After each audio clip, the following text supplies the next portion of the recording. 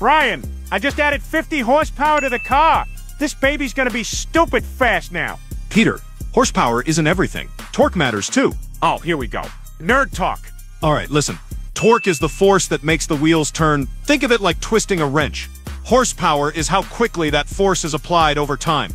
More torque means better acceleration, but horsepower determines how much work the engine can do at higher speeds. So horsepower is the sprinter, and torque is the big dude flipping tires at the gym. Exactly. If you only chase horsepower, you might end up with a car that takes forever to get moving, but flies on the highway. Torque gives you that punch right away. Huh? So I basically built a car that's fast, but only if I wait for it? Pretty much. All right, next mod, more torque.